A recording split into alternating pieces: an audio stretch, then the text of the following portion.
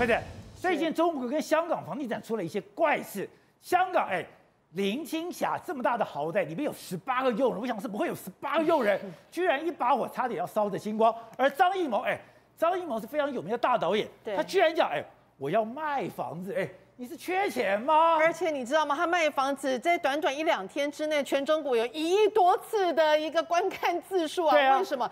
因为张艺谋不仅是个大导演，他甚至负责北京奥运的开幕跟闭幕式。他现在开始，而且是所谓的极瘦。你现在看到的画面，极瘦。对你现在看到的画面，就是在无锡，他这个呃卖的他的这个独栋的豪宅叫做呃湖西山庄，里面几乎都是独栋独栋的。然后呢，它这个整个占地面积是呃三百一十七平哦，那那个建筑面积有两百一十八平，是两层楼的一个建筑，花园大概有快要三百平哦。换句话说，其实它是一个非常非常大的，而且呢，据说它当时一落成之后，他就花了五百万人民币进行装潢。你现在看到画面，就是流出来的一个相关的。这是张艺谋的家，传闻是他这么美轮美奂。对，然后呢，最夸张的一件事情是，他说以现在当时呃现在当那个地区的地那个地价来讲的话，整个应该要至少卖到六千万人民币，是差不多的一个行情价。结果现在网络上传出，他竟然是腰斩起开三千万来，三千万，对，那因为是三千万的话，人家就说，那你是不是急于出售急售？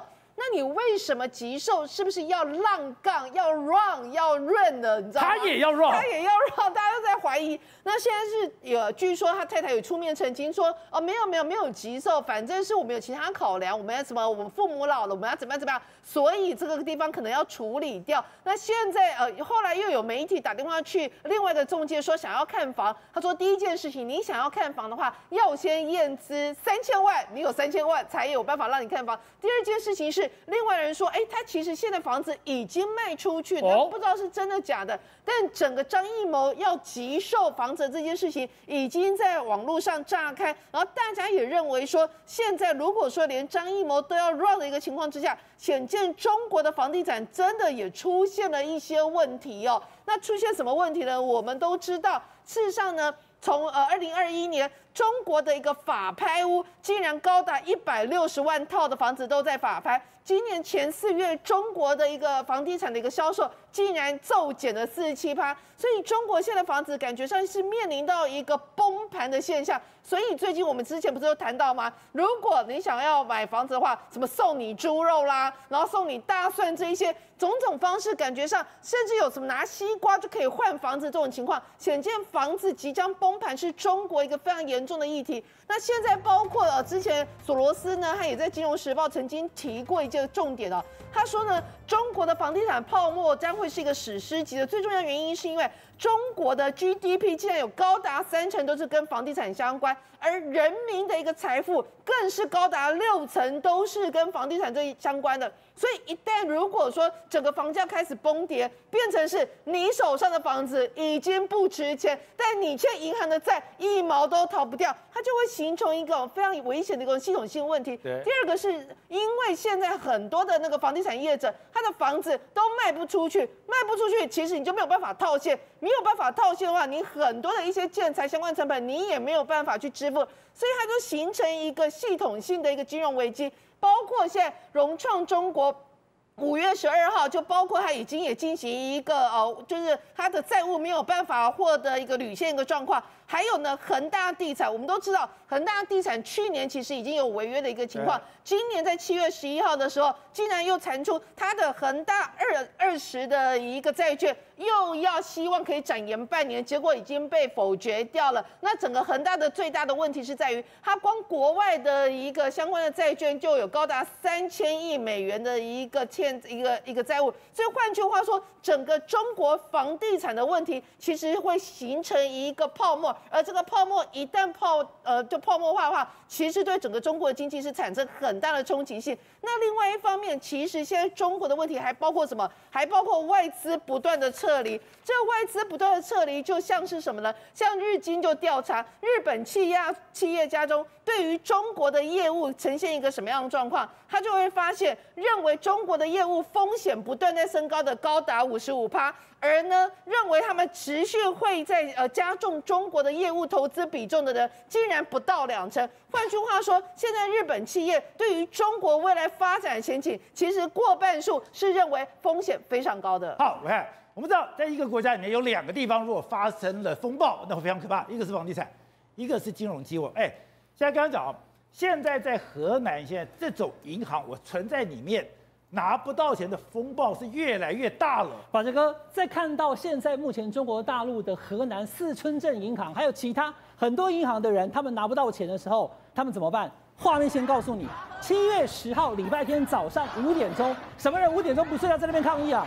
就是没有钱的人嘛，我钱存在他银行里面，结果从四月到现在已经七月三个月，我根本领不出来。我到了河南的人民银行的大门口去抗议，从五点一路抗议，抗议到早上十一点，黑白无常了。哦，有人穿黑衣服，有人穿白衣服，冲进来把我乱打一顿，通通拉上车啊！那个画面乱成一团。反正你看，突然中间这路冲进来，全部都不知道是谁。现在还钱天经地义，更不用讲，你今天是跟银行存在银行。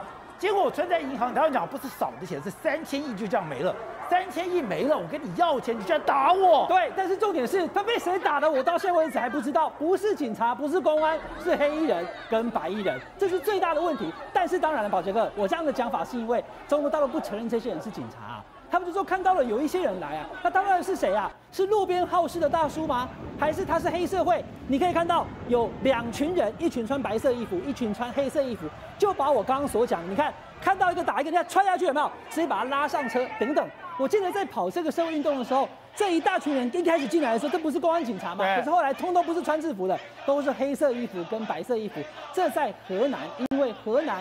维权讨债，虽远必诛，通通都是红色的健康码，不能到河南。可是对不起，宝杰哥，已经三个月了，总有人他没有弄到健康码。我聚集到了郑州去，我开始要准备要钱。这个东西我先跟大家看一下，这是什么？这是事情发生之后，居然中国大陆的媒体都没有报道他们被打被抓，所以他们纷纷跑到了哪里？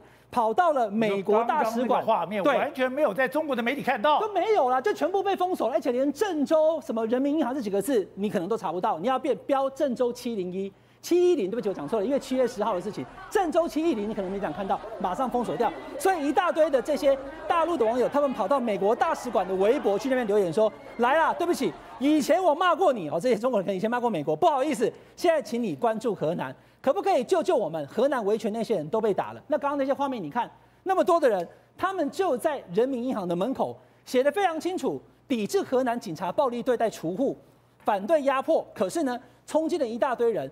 黑色衣服跟白色衣服，他们也没有表明他们的身份是谁，就把你痛打一顿以后呢，通通拉上这个大的巴士。对，现场有三千人，可来了超过四千位的黑衣人、白衣人。为什么我还一直讲黑人、白衣人？因为他们就没有承认，也没有拿出他们的背章说我是警察，我要执法，请你配合，都没有，就是一阵乱打，把你拖上车去。结果有些人，你看这个人，我们都有变色处理了，他眼睛几乎，他说我已经完全看不见了，可能会瞎掉啊。这边对面每一个人，因为都都往。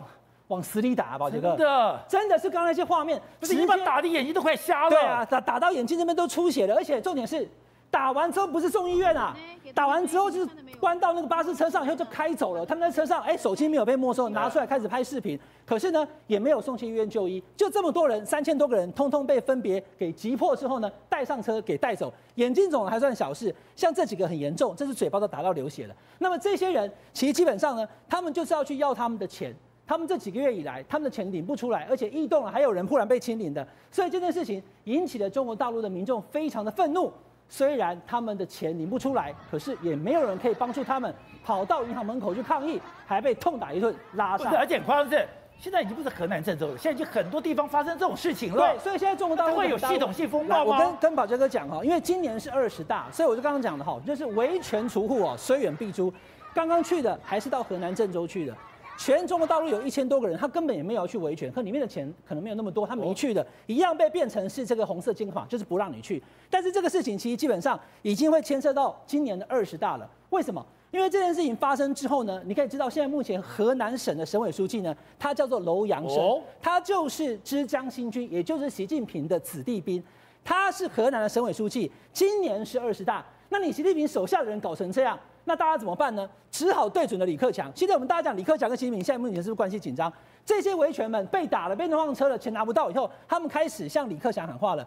李克强查河南，李克强查河南，这个叫徐立毅，他也是习家军。去年因为水灾的关系，他先下来了。郑州的市委书记，这个叫做楼阳生，他是河南的省委书记，是习近平的人马。现在河南搞成这样，而且金融的问题已经延到中国大陆的各个省市去了。如果再继续延烧，可能会伤到习近平。好，吴总，去年我们看到了河南的水灾，你就说河南很难搞。河南谁来都很大的麻烦。去年因为水灾，怎么讲？那个地下道死那么多人，徐立被拔掉，谁拔的？李克强派人来查，把他给拔掉。今年又出现这个所谓的拿不出钱来，现在是谁？现在是楼阳生。楼阳生又说：“哎，又是习近平的人嘛。”就现在喊的两个口号，第一个是：“哎，李克强查河南。”还有。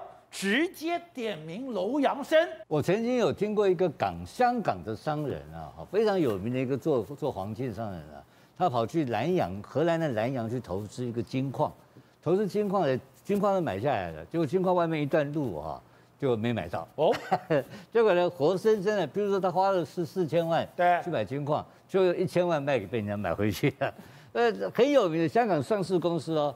结果呢？那南洋有外面的路没有买，货出不去，然后过不去，他就挡路，就给你搞你。然后呢，那个当地人怎么讲呢？他说：“哎，我告诉你们这个香港一个事情啊。他说中国大陆哈各地都已经统一都解放了，知道吧？”只有两个地方，一个是台湾，一个是南洋还没有解放。为什么？土匪在管理，我跟你讲，荷兰都是土匪，假的，土匪无法无天。我要搞这个事情，感觉荒谬。我跟你讲，荒谬在哪里？你看是打打人，对不对？第一个打人的模式，你觉得是不是跟香港很像？很像，就年轻人穿白衣服，对元朗，对不对？然后跟元朗一模一样。他说香港好的没学，坏的全学会了。他打自己人这套灵光的不得了，这第一个。然后第三点，你知道一个什么事情吗？他的银监局有命令哦，要规定他荷兰这个案子要和解，你知道吗？要来已经有人要下来和解，要来赔钱了。对，和解就是赔钱嘛，赔钱就打折嘛，准备打架呢？你你知道这里面有什么学问吗？不听银监会的，搞他嘛，有人要搞这个事情嘛，因为这是闹事，你知道吗？那就是我我银监会还是今天我忘记了，反正就是有中央有命令，哎，他们也接到命令，也通知了银行，这个事情就是要谈判，对，这个谈判就是要和解，完全都有公文在的，结果他变成打人。你你我现在讲的什么意思呢？他故意利用二十大的时候来闹事情哦，这是可恶的地方。说这是故意闹事的，这个故意闹事的，不搞那么大，所以这些人就你找门美国大使馆，你找那个太空大使馆也没用，他没有用的，他就是要搞你嘛。所以他是闹事用的，他是故意用闹事用，他这背后有政治的动机。原来很单纯，就是一个倒账嘛。对，倒账我们台湾的银行倒账过去都碰过嘛，对不对？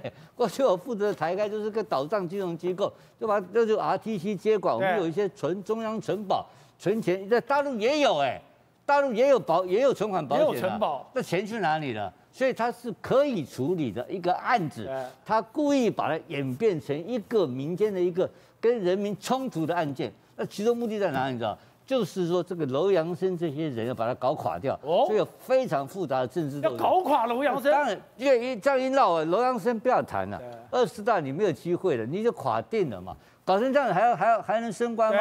所以这个后面我刚刚再重复讲一遍，其实是可以和平解决的一个案子，用和解赔钱。所以反袭还有人在搞，对，故意在搞派系的冲突，然后去闹大，闹大大到你你现在讲的一下对什么徐李克强什么卷入查河南都不重要，就是这个楼阳生他就很很在二十大就很难出头了。